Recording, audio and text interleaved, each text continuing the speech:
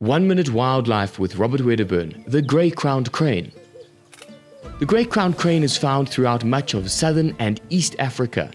This is undoubtedly one of the most majestic bird species in the world. From its spiky hairstyle and elegant confidence to its bright red throat pouch and colorful face, this species has captivated birders from around the world for generations.